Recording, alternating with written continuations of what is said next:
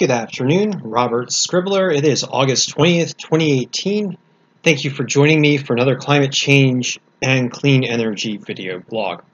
Now for this segment, I'm going to continue my discussion about this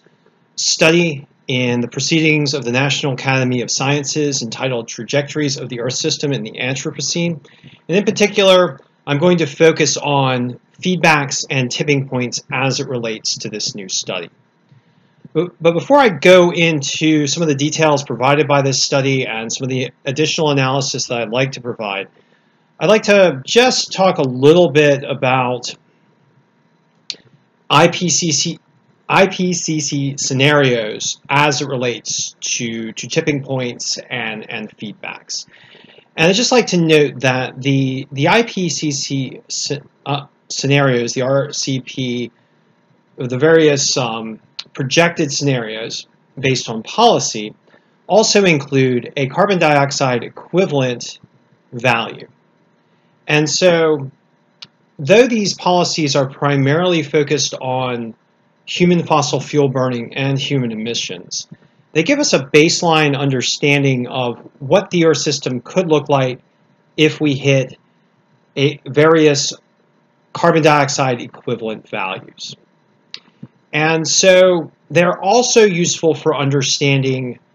Earth system feedbacks once we once we have a decent idea of how much change Earth system feedback produces by 2100.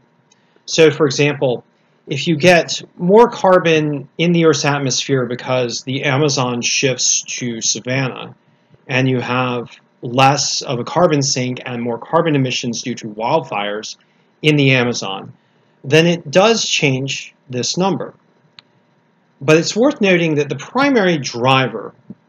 of these you know, states, these various climate states, is human fossil fuel burning and human carbon emission. And these feedback scenarios are, are indicators of of how the Earth system can can give us a lot less space before we need to transition in order to avoid a hothouse state. So, so just something to keep in mind as, as we talk about tipping points. Now, I'd like to just look at this graphic that, that is provided by the new study and, and talk about how there are numerous ver various tipping points in the Earth system that could help accelerate the Earth into a new hothouse state. And for my particular analysis, we, have talked about a lot of these in in isolation, and uh, but but I just like to provide this graphic for you from the study so that we can think of them in total. And it's worth noting that that the ones that we're really concerned about right now are changes to the Greenland ice sheet, changes to the West Antarctic ice sheet, changes to the East Antarctic ice sheet, changes to Arctic sea ice and Southern Hemisphere sea ice, changes to the boreal forest or northern forest region, uh, primarily as it relates to wildfires, changes to permafrost as it relates to permafrost thaw, changes to the jet stream, changes to ocean circulation or thermohaline circulation, changes to El Nino, changes to the Amazon rainforest, and changes to the Indian summer monsoon. We've also talked a bit about changes to the Sahel region of Africa, as well as impacts to coral reefs and, and overall ocean health as it relates to coral reefs.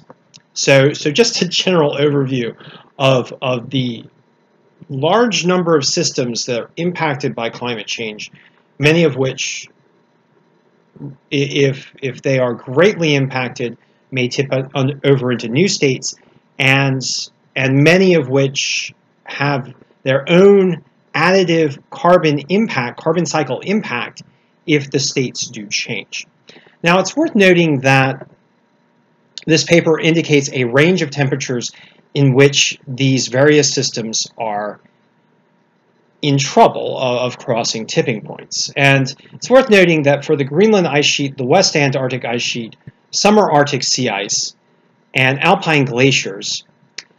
that we are already in a range right now where these systems are, based on this paper, identified at risk of crossing thresholds, points of no return, where where it's practically impossible to to restore the systems to their previous state.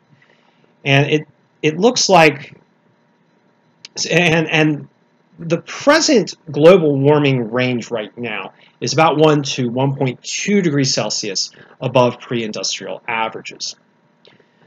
So it looks like that we are in danger, for example, of seeing a, a zero sea ice state in summers within the next decade, or, possibly sooner, possibly a little bit later. But but this is a, a tipping point that we've already reached, and and loss of sea ice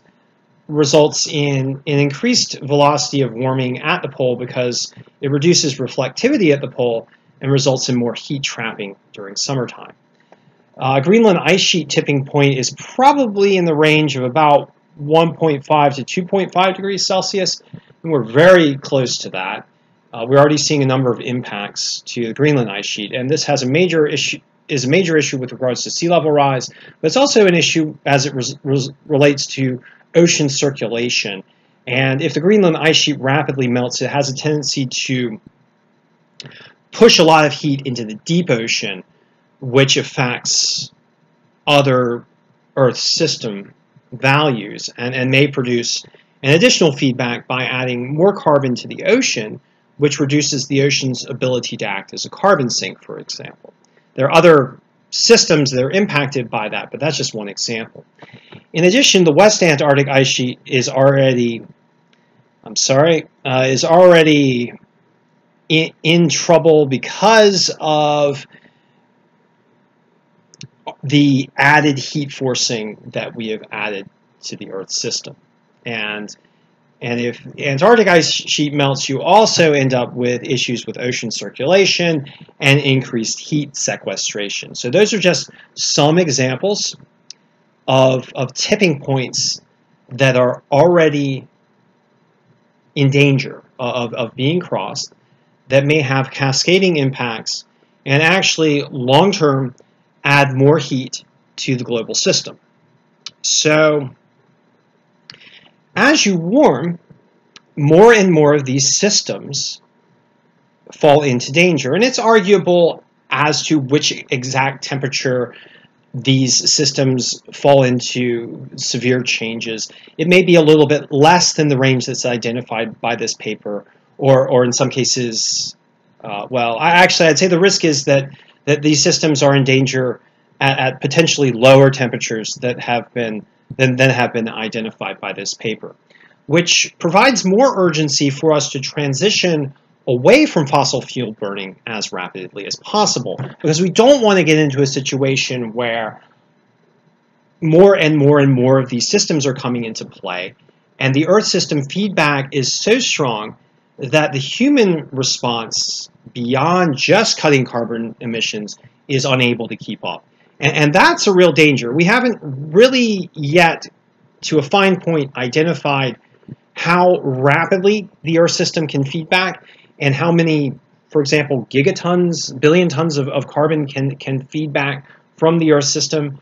on an annual basis. But the high velocity of human forced climate change puts at risk the fact that, that Earth systems might feed back on a scale that is comparable to the human feedback in a 10% range, in a 20% range, in a 30% range,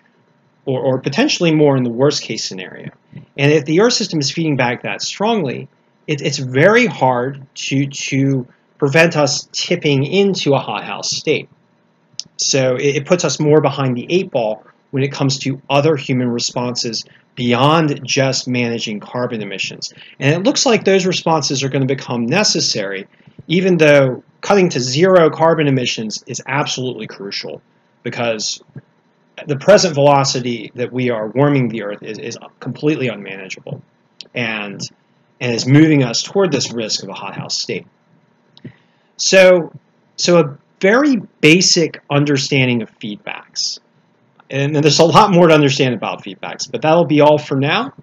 Thank you for joining me, and I'll be chatting with you soon.